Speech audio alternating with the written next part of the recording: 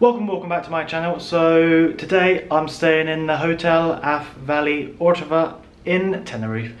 I probably butchered that name, but I'll put on the screen what it is because I'm awful at pronunciations and stuff. So I'm going to give you a room tour of the hotel, well, my room, maybe the hotel as well, and yeah, let's get into it.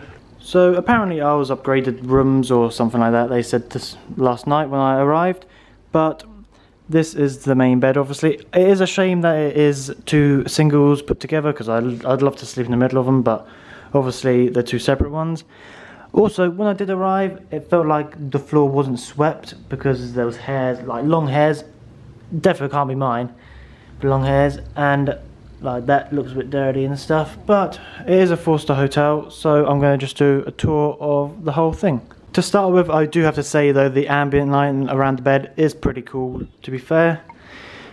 Each side has like little book lights, or whatever they are. I don't know what they are. And obviously plugs, main light switches, everything like that.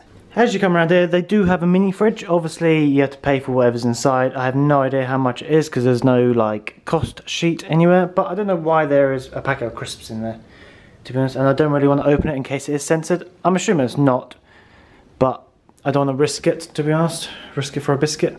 So it does come with a kettle. Let's have a look and oh, I plug it open? Oh. oh, pretty clean to be fair. Not that I really drink hot drinks, but there's pretty good standards to be fair. Oh, that's pretty cool. What the? It's all built in. Bloody hell. That's pretty cool. Oh, don't need that on, do we? They give you a couple cups. They are a bit dirty to be fair. Or dirty and a bit chipped. Obviously two mugs or cappuccino mugs, whatever they are.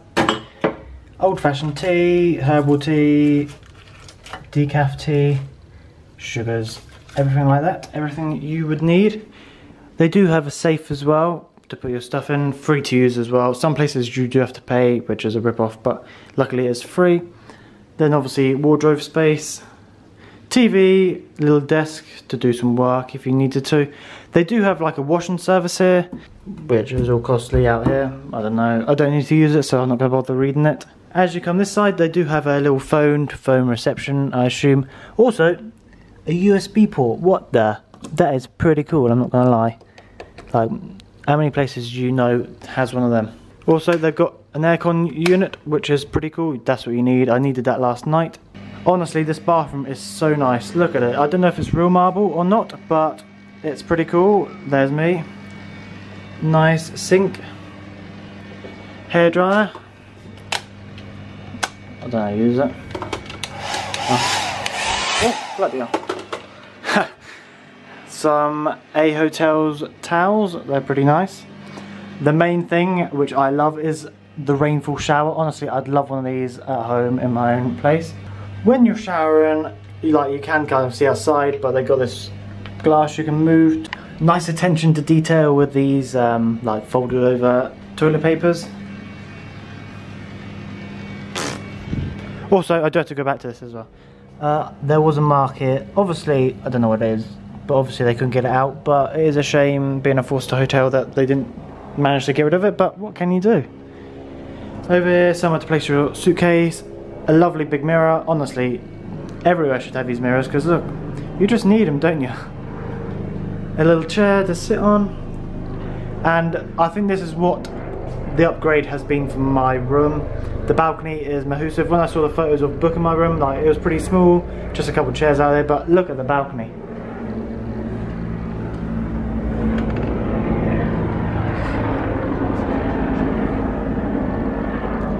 So there's two sunbeds to if you don't want to go down the main area and two little chairs.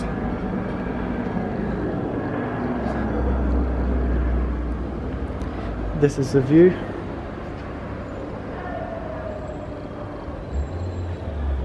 Even though I'm not scared of heights I honestly can't look over the balcony. Honestly I just I can't do it. I did have a stroll along the beach and stuff so I'll insert that now but I will potentially take you around the whole hotel because it's pretty posh. Well, I say posh. I don't think I've ever been. Well, I've been in a couple four-star hotels actually, but like it is actually pretty nice. It looks fancy. Like when I walked in, I was like, is this actually where I'm staying? Oh my days.